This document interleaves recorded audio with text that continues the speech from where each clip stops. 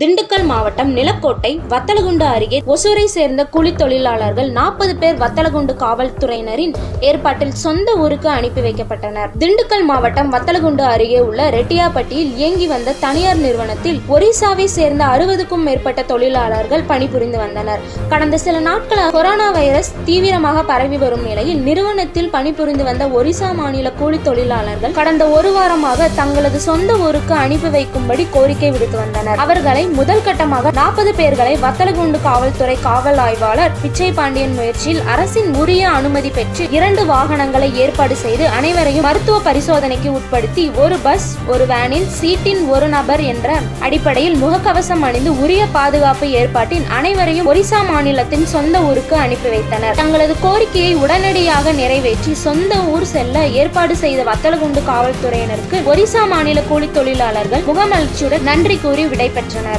எல்லா வசதிகளும் உள்ளடக்கிய உள்ளதை செல்வோம் நல்லதை செய்வோம். பொன்னி மருத்துவமனை திருச்சி ரோட் பல்லடம்